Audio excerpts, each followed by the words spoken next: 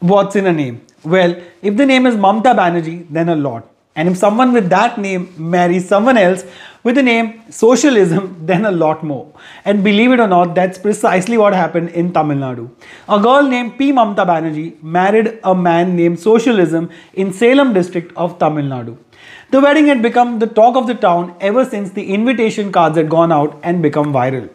Now, we all know that West Bengal Chief Minister Mamta Banerjee and the left parties are arch political rivals, but their namesakes had no problem saying I do to each other until death do us apart.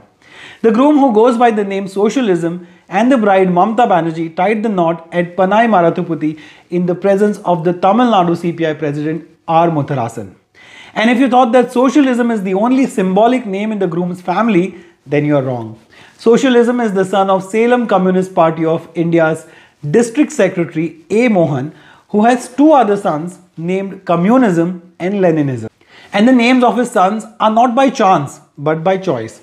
The father A. Mohan claims that he was so devastated with the fall of Soviet Union and many claiming that communism had fallen that he decided to name his eldest son Communism and his other two sons socialism and Leninism just to assure people that the concept of communism still thrives. He further acknowledged that while the names may sound new and bizarre to others, they were quite common among his comrades. He said, these names may sound new to the outer world, but it is quite common here. Around 60 years ago, senior comrades here had such names. The names of communist countries and leaders such as Moscow, Russia, Vietnam, and Czechoslovakia were given to comrades here. My children were named similarly, he said. The bride, on the other hand, who goes by the name P. Mamta Banerjee, holds a bachelor's degree in English literature and comes from a family of Congress supporters. She was named by her grandfather after the West Bengal Chief Minister Mamta Banerjee, who was earlier with the Congress party. The bride, P. Mamta Banerjee, told the media that she was in class 10th when she understood the significance of her name after her friends started talking about it. Asked about her opinion on the West Bengal Chief Minister, the bride replied, I have seen her on many news channels and many times. She is a strong woman. I am very proud to say that. The 29 year old groom, who is a relative of the bride, holds a BCom degree and runs a business of silver anklets. The guest at this political shadi claimed that anyone who received the invitation card was taken aback upon reading the names of the bride and the groom.